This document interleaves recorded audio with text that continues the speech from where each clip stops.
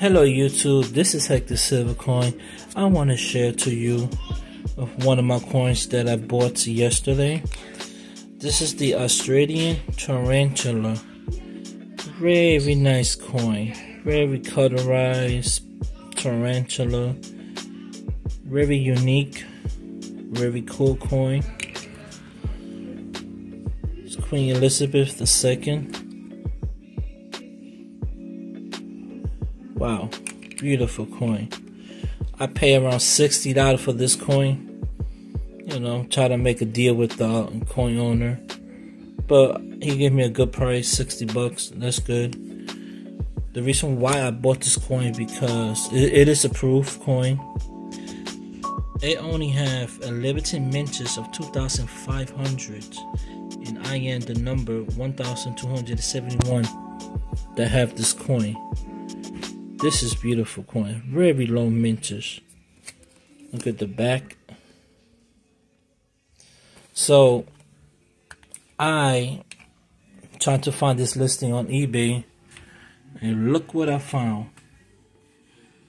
This is the exact same coin but they're asking almost $200 for it.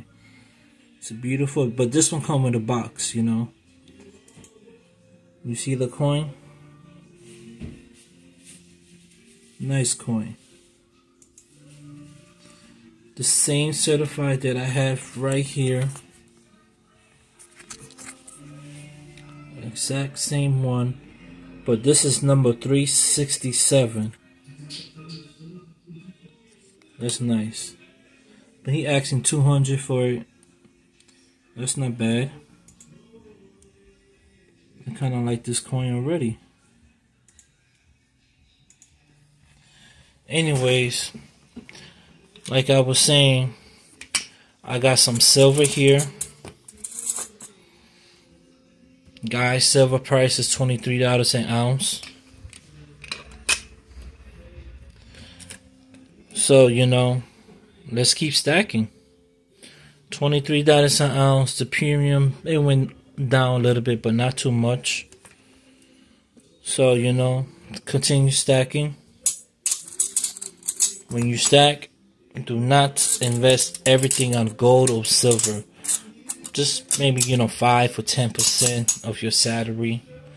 Diverse your portfolio.